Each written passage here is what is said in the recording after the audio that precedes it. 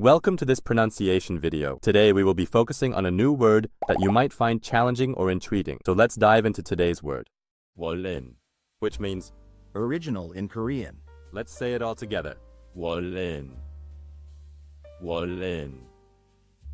wonraen. One more time. wonraen. wonraen. wonraen. Thank you for joining us on this adventure in pronunciation. Remember, language is a journey, not a destination. Keep exploring, experimenting, and expanding your linguistic horizons. We'll see you next time.